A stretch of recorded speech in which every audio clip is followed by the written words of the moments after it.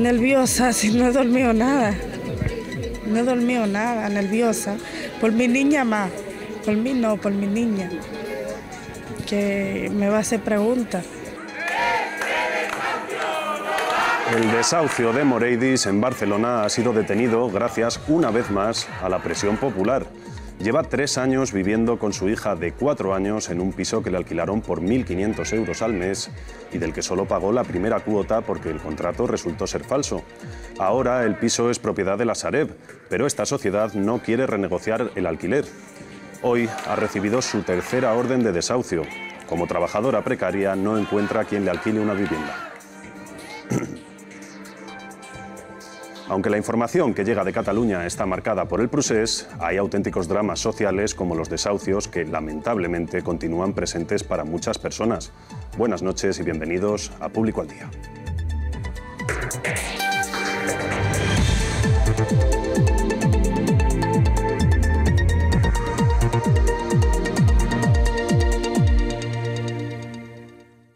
Tenemos la amenaza de Ciudadanos de que en caso de que no se produzca esa dimisión, pues que apoyaría esa moción de censura. Y lógicamente esa opción hay que contemplarla y pensar en ella por el bien de todos.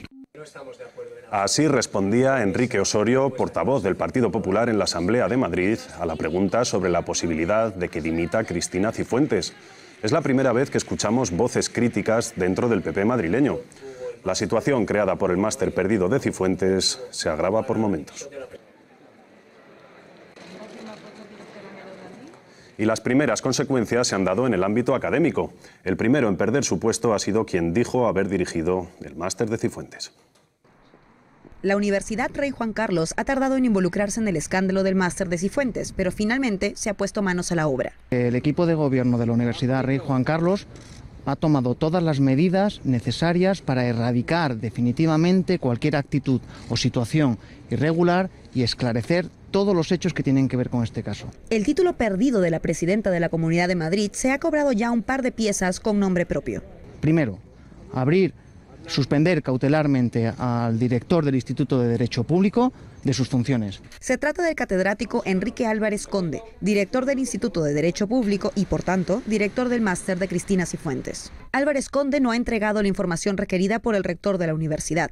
Además, las tres profesoras involucradas en el acta que acreditaba la evaluación del trabajo de Cifuentes han negado haber participado en el tribunal y han denunciado presiones. Segundo, abrir expediente a todos los funcionarios implicados en este hecho. La funcionaria más dañada por el caso es Amalia Calonge, la amiga de la presidenta que cambió las notas de su expediente. Tercero, llevar a Fiscalía todos los hechos que tengan que ver con este caso, así como toda la documentación eh, que, tenga con este, que, tenga que ver con este caso. La presidenta de la Comunidad de Madrid mantiene su título de máster, pues el rector Ramos ha asegurado que para retirárselo debe dictarse una sentencia firme reconociendo los hechos, en cuyo caso se iniciarán los trámites para anular dicho certificado. Es perfectamente real y perfectamente legal, además. Es la palabra de Cifuentes contra una montaña de pruebas que parecen desmentirlo.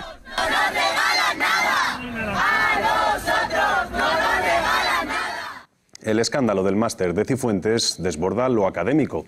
Los políticos se mueven en una escalada de órdagos que mantiene el futuro de la presidenta madrileña en vilo.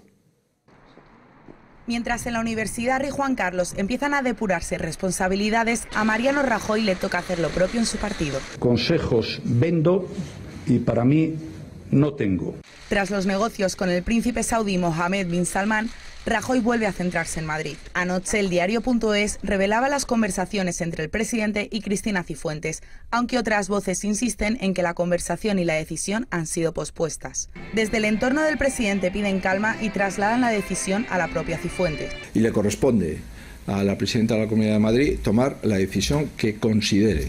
El cambio de postura puede sorprender, aunque para el ministro de Justicia está fundamentado. Lo más importante es que cuanto antes se cierre, se sepa definitivamente lo que ha pasado y, también espero que la señora Cifuentes eh, tome las decisiones que correspondan a la vista de la verdad final que tengamos sobre todo este asunto. En el tira y afloja entre Ciudadanos y PP para ver quién se hace menos daño electoral resolviendo el futuro de la presidenta madrileña, los consejos llegan hasta desde Cataluña. Pues yo creo que lo más lógico y lo más razonable es que la señora Cifuentes dimita, que pongan otro candidato que pueda ser presidente durante estos meses. Y en lo que se refiere a la las negociaciones con el PSOE y Podemos. Si es que se produjera ese, ese, pacto, tiene que ser un partido socialista que, por un lado, gire al centro, mire al centro y le dé la espalda, por lo tanto, a los populismos y a los extremismos y a la extrema izquierda, y, por otro lado, tenga muy claro su idea de España. Se trata de una relación de ida y vuelta. Que dé libertad de voto a, los, a, a sus diputados. No nos hace falta más que un solo voto justo. Así las cosas, el futuro de Cifuentes está más en vilo que nunca.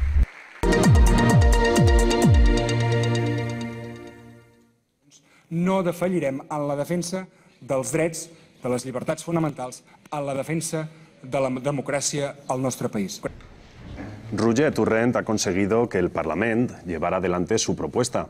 Como anunció ayer, la mesa del Parlamento se va a querellar contra el juez Llarena por prevaricación. El magistrado del Supremo negó ayer a Jordi Sánchez por segunda vez el permiso para acudir desde la cárcel a su sesión de investidura.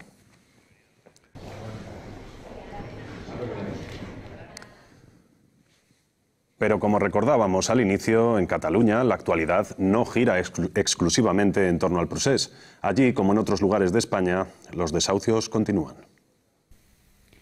Ana tiene 43 años y es la primera inquilina en Barcelona en recibir una demanda ordinaria por su vivienda, en la que vive desde hace 12 años.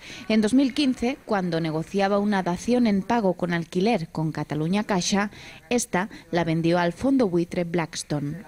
Yo empecé pagando una cuota de 600 euros y terminé pagando una cuota de 1.178. Desde entonces, Blackstone no ha hecho más que acosar a Ana. Llevo 10 años pagado, he pagado la obra de la luminosis, he pagado el ascensor, he invertido bastante el piso, en el piso, he perdido mi familia por el piso ellos me dijeron que no, que no, que yo tenía que verme en la calle. Ese día se presentó en la PA. El mismo director del banco, donde hasta el momento gestionaba su hipoteca, le dio el contacto. Las familias afectadas no saben con quién tienen que negociar.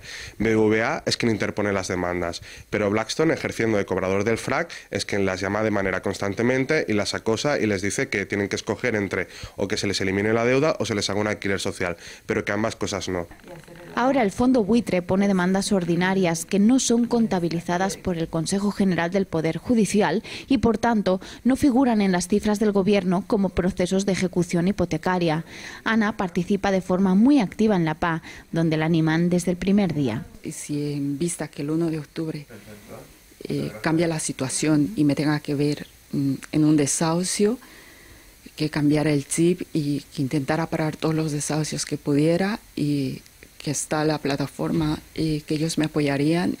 Y hace como dos meses, más o menos, yo tiré la toalla. Pero en La Paz son más optimistas. Somos realmente optimistas porque hemos conseguido vencer casos como, como el de Ana que están dentro de este entramado.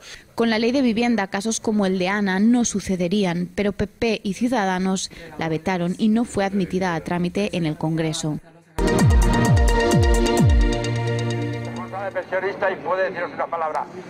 Mañana es el 87 aniversario de la proclamación de la Segunda República Española. Asociaciones republicanas, colectivos e instituciones han decidido organizar actos conmemorativos en localidades como Cádiz, Madrid, Barcelona, Córdoba, Vigo o Valencia. Quieren honrar la memoria de este proyecto político y dar a conocer sus principales logros y retos, así como el contexto en el que se desarrolló. La conmemoración de esta fecha alcanza a los medios de comunicación. El diario público lanza mañana un especial sobre la Segunda República. Nos cuenta más nuestro compañero y especialista en memoria histórica, Alejandro Torros. Este sábado se cumplen 87 años de la proclamación de la Segunda República y para este efeméride en público hemos realizado un especial en el que sometemos a la corona a una especie de tercer grado.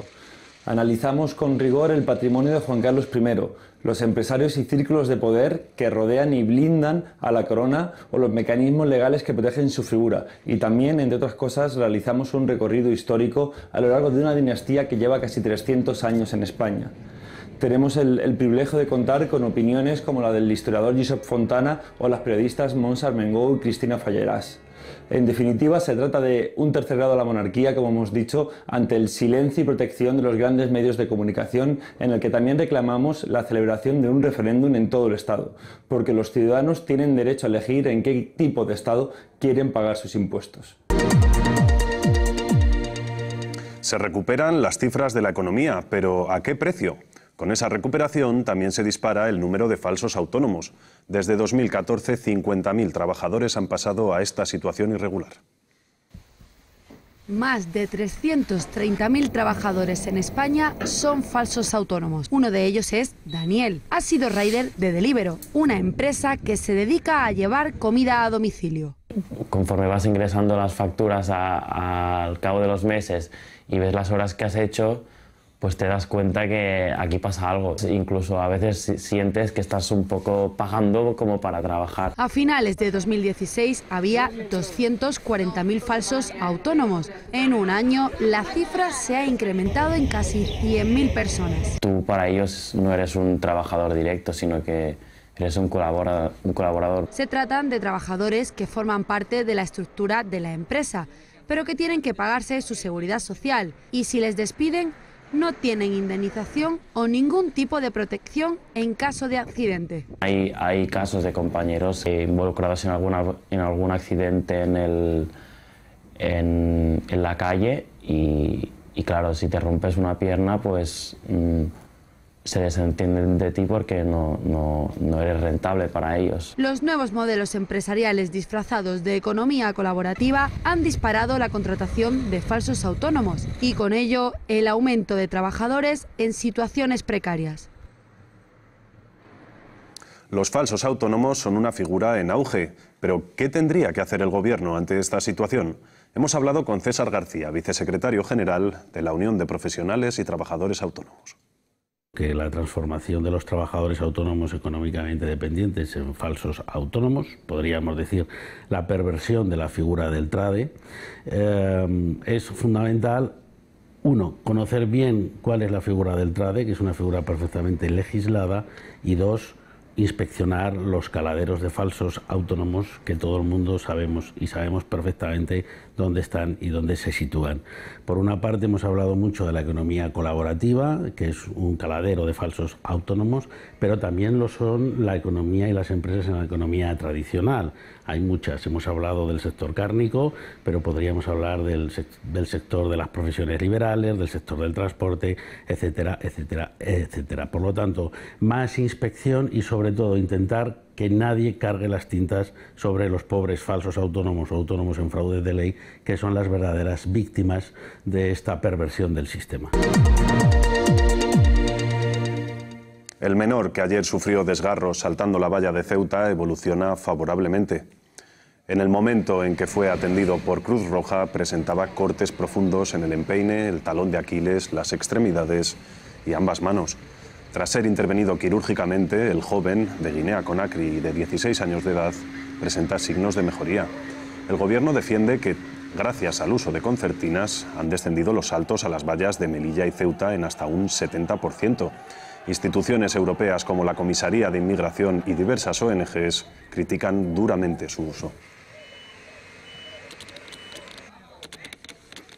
Quinto incidente del año en las centrales nucleares españolas sabemos, ¿eh? No sabemos que, cómo puede haber llegado, pero vamos a, ¿eh? estamos tratando de averiguarlo y, y llegar a ello. Y no se preocupen que le daremos una explicación. El Consejo de Seguridad Nuclear ha informado del hallazgo de elementos radioactivos en el pozo de la central de Ascó 1. Este año ha habido otros tres incidentes en la central de Cofrentes y uno en la de Vandellós. El año pasado el Gobierno aprobó alargar la vida útil de las centrales, desoyendo las recomendaciones técnicas y las protestas ciudadanas y de organizaciones ecologistas.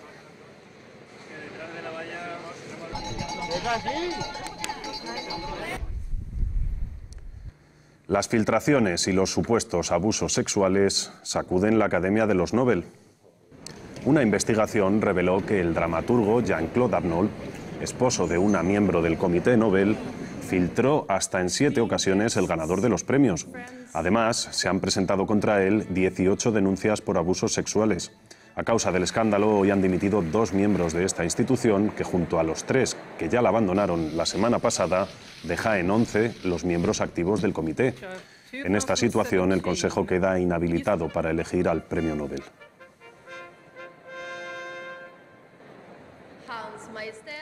Para saber qué temas han acaparado la atención de las redes sociales en una semana especialmente activa, contamos con el responsable de Tremending, Cristian González. El máster de Cristina Cifuentes sigue siendo uno de los temas más comentados en las redes, además con nuevos casos casi cada día y momentos totalmente esperpénticos. Hace unos días, por ejemplo, el PP de Madrid se permitía el lujo de pedir pistas para esclarecer el caso. Y sin cambiar de asunto, en las últimas horas hemos sabido que el posgrado en Harvard que Pablo Casado incluye en su currículum es en realidad un curso de cuatro días en Aravaca. Tras enterarse, los tuiteros no han dejado pasar la oportunidad para llenar la red de memes. En cuanto a Cataluña, la Audiencia Nacional ha dejado en libertad a la activista de los CDR que fue detenida y descarta el delito de terrorismo que había insinuado la Fiscalía. Los usuarios de las redes no pudieron evitar la comparación con las palabras de Jiménez Los Santos. Entre Mending, esta semana también hemos recogido el hilo del tuitero Jonathan Martínez resumiendo cómo hemos llegado hasta aquí, en concreto cómo el atentado en Charlie Hebdo se aprovechó para recortar las libertades en España. Nosotros nos despedimos hasta el lunes. Ya sabéis que podéis seguir informados en público.es. Feliz aniversario de la República y que paséis un muy buen fin de semana.